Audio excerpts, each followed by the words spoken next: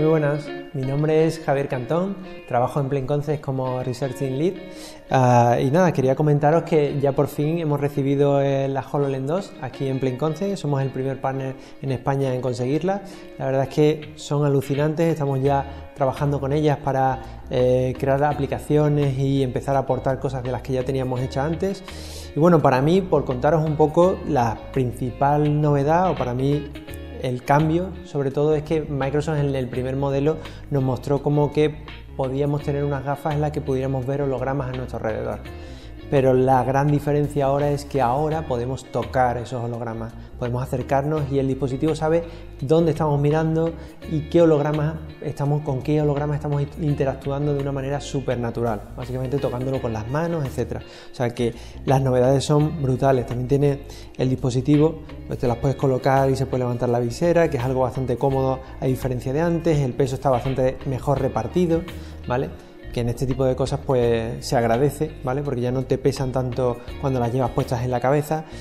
Algo bastante interesante también es que eh, ahora hay un eye tracker o un reconocimiento de ojos, de manera que eh, un mismo dispositivo puede ser utilizado por múltiples usuarios y cuando te colocas el dispositivo en la cabeza, el, el sensor detecta que es una persona diferente y por lo tanto hace login con un usuario diferente y se ajusta, eh, pues bueno, el dispositivo se ajusta para que veas eh, con bastante nitidez eh, todos los hologramas y tal a la distancia de, ojos que tiene cada usuario, ¿vale?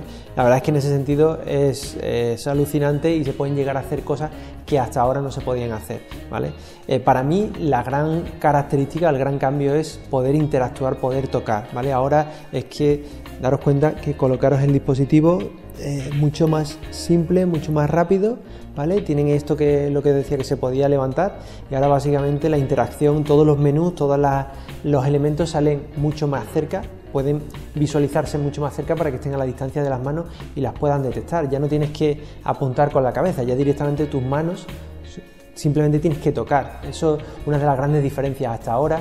Eh, siempre que utilizamos el primer dispositivo, básicamente había que explicarle a la gente cómo utilizarlo. Con esta versión ya no hay que explicarle a la gente nada. Ya cualquier usuario, eh, la gente del equipo y tal, eh, y gente incluso que no habían probado estas gafas antes, ni la versión 1, se las colocan y automáticamente saben lo que tienen que hacer, que básicamente es mirar un elemento e interactuar tocando, tocando con las manos directamente, con sus manos.